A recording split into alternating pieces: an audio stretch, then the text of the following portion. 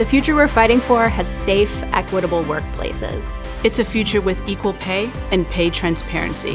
Where women, whether black, Latina, indigenous, or Asian, make an equal dollar to every dollar paid to men.